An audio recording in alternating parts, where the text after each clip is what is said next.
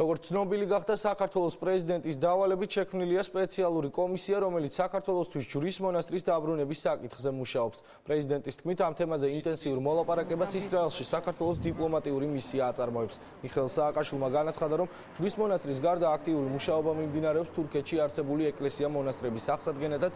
მან იმედი გამოთქვა, რომ თურქეთის მთავრობასთან მოლაპარაკებები წარმატებით დასრულდება და ქართული ხუროთმოძღვრების უნიკალური ნიმუშები პირვანდელ სახეს დაიბრუნებს.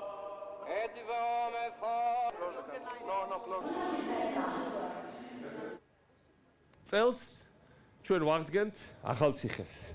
იმ ადგილს, საიდანაც მე-19 საუკუნეში გაასახლეს მოსახლეობის 90%. წარმომადგენლებს სილამაზის ჯაყელების სასახლე, ქართული ეკლესიები, ძველი ქართული ძეგლები, ახალ ციხის ციხე, რაბატი და დიდი კულტურული ცენტრი ისე ვაღდგება იმაზე მეტი წყირვალებით ვიდრე როდესმე ყოფილა.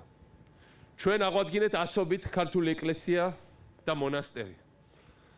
წელს ვაღდგენთ, ვამთავრებთ ფოთის საკათედრო ტაძრის აღდგენას, ბაგრატის როგორც საქართველოს სიძლიერის სიმბოლოს აღდგენას ქუთაისში, გვირგვის ჩვენი პროცესის. ჩვენ ასევე მივხედათ ჩვენ ძეგლებს უცხო ქვეყანაში, ქვეყნებში, ჩვენ გვაქვს მოლაპარაკე უცხო ქვეყნის თავრობიდან. რამოდენიმე ხნის წინ მე შევქმნი ჯგუფი, რომელიც მუშაობს ჯვრის მონასტრის დაბრუნებაზე, გამოსყიდვაზე ისრაელში. და ამის შესახებ ჩვენ საოცრს დავალებული აქვს რომ ჭიდრო კონტაქტები გქონდეს ისრაელის თავრობასთან მადლობელი ვართ ისრაელის თავრობის თანამშრომლობისთვის მათ შორის ჯვრის მონასტერში დაცული ქართული სიწმინდეების გადარჩენის საკითხში. პირველივე ვიზიტიდან ისრაელში ეს საკითხი მე დავაყენე. ახლა უნდა დადგეს საკითხი იმისა რომ ჯვრის მონასტერი დაუბრუნდეს საქართველოს და ქართულ ეკლესიას. იქ ისევ აღევლინოს ქართული ლოცვა და ისევ ის იყოს საქართველოს ეკლესიის საქართველოს კულტურის შემადგენელი ნაწილი როგორც იყო საუკუნეების განმავლობაში. ჩვენი ძეგლები თურქეთში, ოშკი და სხვა ძეგლები.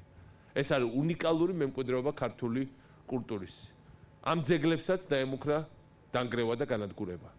ჩვენ გვაქვს მოლაპარაკება თურქეთის თავრობასთან, რათა ორხნ იადაგზე მოხდეს ჩვენი ძეგლების გადარჩენა, ისე როგორც ეს არის ქართული ტრადიციით, არა უბრალოდ ზოგადად. არამედ როგორც შეესაბამება მათ პირველად ყირვალებას.